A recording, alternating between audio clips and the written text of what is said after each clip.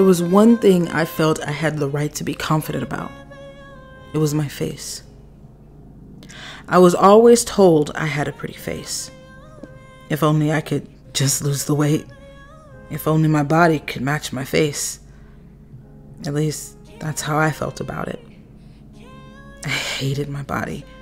So I only focused on my face, even though I had a complex about it as well. I just never felt good enough, but at least I had one thing that I could get compliments about that weren't sexual.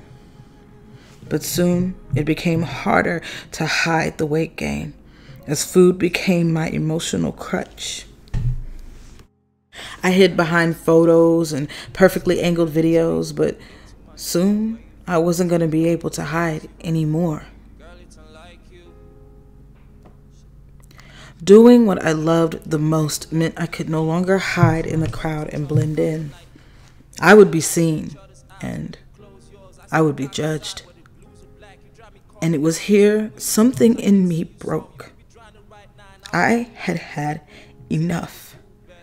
And I found the courage to stand in my truth. And that truth was I wanted to change. I wanted to change so bad, but I knew that I couldn't do it alone.